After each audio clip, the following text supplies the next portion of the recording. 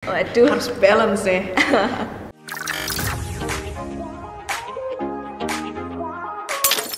Hai Brandmate, uh, welcome back to YouTube channel S1 Branding bersama Lala dan Amanda. Nah kali ini kita kedatangan tamu spesial yakni siapa? Eh, Evelyn. Yeay. Boleh Eve silakan memperkenalkan dirinya yang kita belum tahu nih kira-kira sama kesibukannya tuh lagi ngapain sekarang. Hai Brandmates, jadi kenalin nama aku Evelyn Irawan, biasa dipanggil Evelyn. Eh, aku eh, jurusan branding angkatan 2021 di Prastia Mulia. Nah kesibukannya apa nih? Kayak organisasinya tuh lagi menjabat apa aja kira-kira tuh? Eh, untuk organisasi sekarang eh, lagi menjabat sebagai Vice President dari Finfriends 2023. Eh, terus juga eh, menjabat sebagai Lotstar gitu.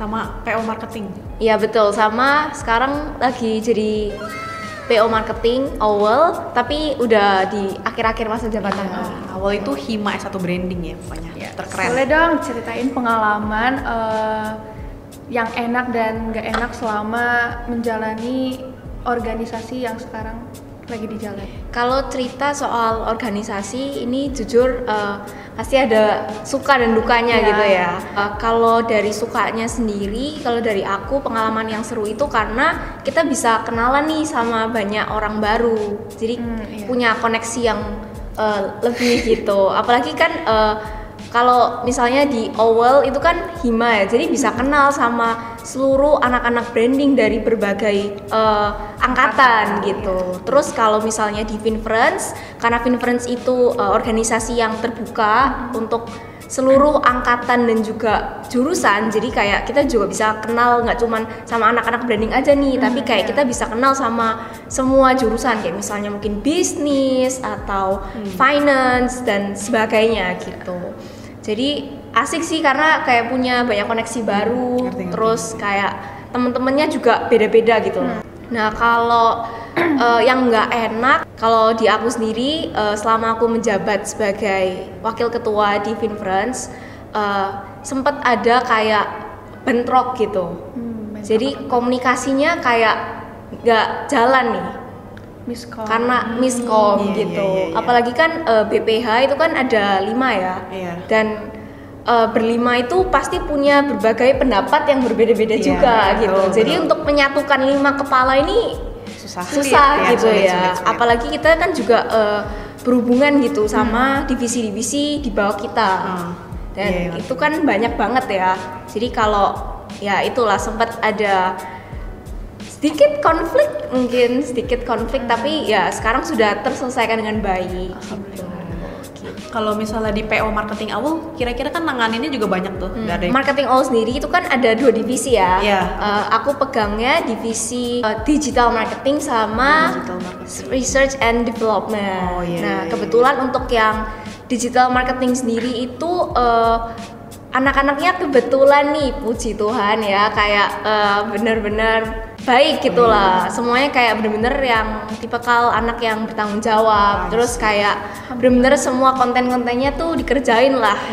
Nah kalian juga bisa lihat sendiri ya dari konten-kontennya Owel. Nah mungkin kalian bisa cek juga di Instagramnya Owel at owel.journey Tuh. nah Boleh kalian bisa cek-cek. Tuh konten-konten yang udah dibuat sama anak Dikmar. Keren-keren like, banget. komen ya kan? Benar. karena itu menambah pengetahuan dan wawasan juga tentang dunia branding. Nah karena kita lagi ngomongin li- tentang leadership sama manajemen gitu-gitu nah motivasi lu kayak tetap bisa disiplin berorganisasi tapi tetap keep up sama tugas-tugas kuliah tuh gimana kira-kira? Karena kan yang kita tahu tugas-tugas kuliah di Prasmul nih lumayan banyak, ya. iya. dan organisasi juga benar-benar harus gak boleh ditinggalin gitu. Nah Hmm. gimana tuh kira-kira Eh, motivasinya. Kalau kalau dari aku sendiri ya aku tuh kalau emang dari awal emang kepengen ikut ini nih jadi emang dari awal eh, memutuskan untuk ikut organisasi tuh nggak asal gitu.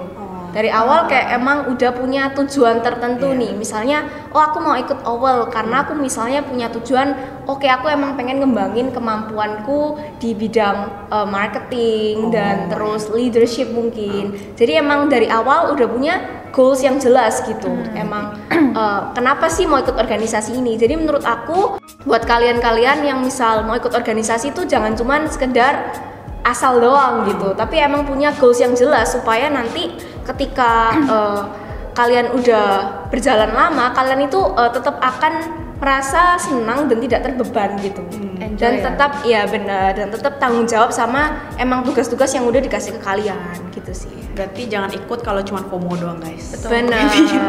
Terus kan tadi eh, kamu ceritain ya ada konflik di dalam organisasi yang tadi kamu jalanin.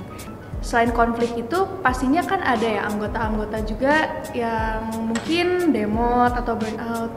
Kamu sebagai leader gimana tuh cara ngatasin anggota kamu yang demot nih jadinya job desk yang harusnya dia kerjain malah jadi molor gitu. Gimana kamu menghadapi itu?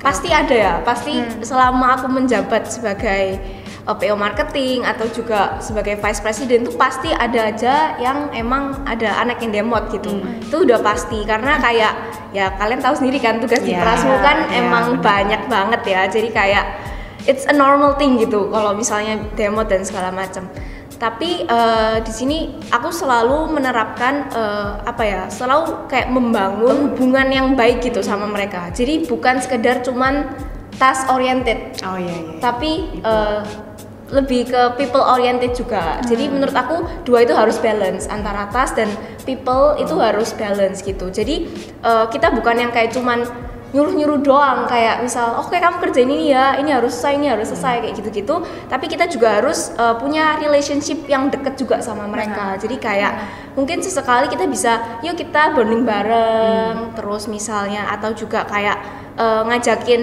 apa ya hangout bareng terus pergi bareng. Terus habis gitu mungkin setelah kita eh, ngobrol-ngobrol dan segala macam mungkin baru kita bisa mungkin masuk ke eh, tasnya Ya. gitu jadi kayak harus balance aja sih Emang cocok jadi lodestar ya. waduh Harus balance ya. Coba kalau misalnya li- tentang leadership nih, role kalian tuh kira-kira apa? Berdasarkan pengalaman Role kita juga model. nih, role model kita sama leadership tuh menurut kita tuh kayak apa gitu loh. Harus apa gitu. Coba dari Lala dulu deh mulai. Uh, leadership menurut aku selain bisa memotivasi ya memang harus tegas Jelas, benar. Keras, oke uh, bertanggung jawab udah pastinya Udah karena pasti. leader ya Iya. udah gitu yang benar tadi sih yang dikatain sama efek kita juga harus dekat uh, sama anggota-anggota kita Iya. mungkin kayak gitu ya Kalau role model siapa Role model kira-kira? aku siapa ya mungkin dosen kita nih Wih, siapa dosen leadership Oh iya. Bu Dewi. Karena menurut aku Bu Dewi itu keren banget sih. Kalau Eve boleh? Oke, kalau dari aku sendiri, menurut aku leadership itu apa eh, seseorang yang bisa bertanggung jawab sama anak-anaknya, anak-anak yang dibawanya. Terus dia punya, dia selain eh, tegas, tapi dia juga bisa mengayomi Iya. anak-anaknya Iya. gitu. Kayak eh, ya bertanggung jawab, mengayomi, sama tegas sih itu Iya. menurut aku. Ka- Kalau role model siapa? Kalau role model, eh, menurut aku li- seorang leader yang keren itu menurut aku kalau kalian tahu Kak Gabriela Lase. Tahu, tahu, tahu, tahu. nah itu eh, ketua OWL tahun lalu Iya, ya, iya, benar. Menurut aku sendiri kalau Kak Gaby tuh keren gitu. Dia tuh kayak apa ya? Ada karismanya gitu loh. Terus juga tanggung jawab banget orangnya. Kayak sangat detail dan tegas juga tapi kayak tetap ya itu, tetap yang kayak Mengayomi. mengayomi gitu. Jadi kayak mantap. Benar, benar. Jadi Kalau- pengen kenalan nih sama kalian. kenalan ya ntar ya. Nanti kita panggil Kak Gaby. Tuh. kalau menurut aku sendiri juga sebenarnya sih sama ya kayak mereka. Cuman mungkin kalau leader tuh mungkin iya bisa kayak ada anggota-anggota yang demot dia bisa ngasih motivasi lebih. Jadi kita sebagai anggotanya tuh bisa kayak wah pengen menggebu-gebu kayak oke kita kalau leader kita bisa kayak kita harus bisa. Jadi kayak role model apa kayak leadership itu harus bisa ngasih contoh-contoh yang baik ke kita dan lain-lain lah pokoknya. Nah kalau role model aku menurut aku ya Siapa kayak tuh? Siapa? Cristiano Ronaldo. Oh, Kenapa? Sebenarnya dia bukan leader di apa? Bukan leader di timnya. Tapi dia tuh kalau udah li- kayak kalau udah ngelit timnya dia kayak udah kayak jadi leader gitu kalau di lapangan. Jadi tuh bener-bener kayak kadang kan kita misalnya ditonton ribuan orang kan bisa nervous gitu-gitu dah. Dia tuh bisa tuh yang kayak ngebangkitin semangat, bikin orang-orang tuh kayak pokoknya jadi respect lah sama dia. Wah. Tuh. Keren, keren. Kamu skill apa aja sih yang wajib dimiliki seorang leadership yang paling penting tuh apa aja? Hmm, Oke, menurut aku semuanya itu udah terangkum nih Hmm. di dalam nilai-nilai Prasmulya. Apa aja Mika? Betul. Menurut aku eh Mika itu udah sangat merangkum semuanya sih. Mungkin Iya, benar bisa kita sebutin kali. ya. Coba, mungkin coba, kan coba. ada yang nggak tahu Iya. mungkin. Sekalian mengingat. Mika itu apa ya? Apakah prasmul sejati atau bukan? Oke, eh, jadi chain itu ada caring, humanity, achieve, achieving, Achieving. eh, integrity dan non discrimination. Kenapa eh, ini penting kayak ya of course gitu. Jadi leader tuh harus caring ya iya, kan? benar. Harus rendah hati juga Iya. sama anggota-anggotanya. Terus kayak eh, harus bisa achieve something juga Hmm, kan. benar, benar. Dan harus punya integritas dan tidak membeda-bedakan anggota-anggotanya gitu. Betul. Nah, terus kalau Lea Lea Mika, Mika. nah ini ada leadership, terus entrepreneurship, terus ada analytical thinking Analytical gitu. thinking. Terus maturity, Maturity. interpersonal relationship, Tuh. Ya, communication dan uh, achievement, Achievement gitu. Jadi menurut aku nilai-nilai dari Prasmulyan sendiri tuh udah benar. merangkum semua skill yang dibutuhkan oleh seorang leader gitu. Betul betul betul. Nah kalau diambil dari chain Mika itu tiga top 3 apa tuh kira-kira yang benar-benar harus dimilikin? Oke. Kalau menurut kamu? Hmm, tiga top 3 ya.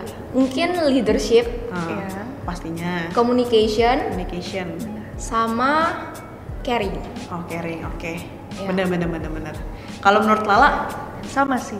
Karena kan jadi leader ya tentunya harus punya skill leadership, leadership, terus leadership, communication. communication ya biar tadi kayak kayak yang tadi Eva bilang biar gak ada miscommunication Hmm. di antara eh, anggota-anggota dengan yang lainnya dan juga harus bisa mengayomi Oh, gitu. Kalau Sama. menurut aku mungkin interpersonal relationship Nah, ya. ya itu juga penting Iya, sih. karena kalau kita sebagai bawahan deket gitu sama atasan kita, kita tuh ngerjain tugas-tugas kita tuh jadi lebih kayak gimana ya, lebih kayak termotivasi kayak kita nggak boleh salah nih karena kita harus membanggain atasan kita gitu-gitu lah pokoknya. Oke, segitu aja podcast kita hari ini. Thank you. Evelyn, ya udah mau ngeluangin waktunya. Thank, you juga for having me. Yes. Thank you buat brand mates yang udah nontonin podcast kita. Jangan lupa tetap uh, tungguin video-video dari kita. Dan Jangan lupa, jangan lupa like, komen share, dan komen. dan subscribe. Oke, bye.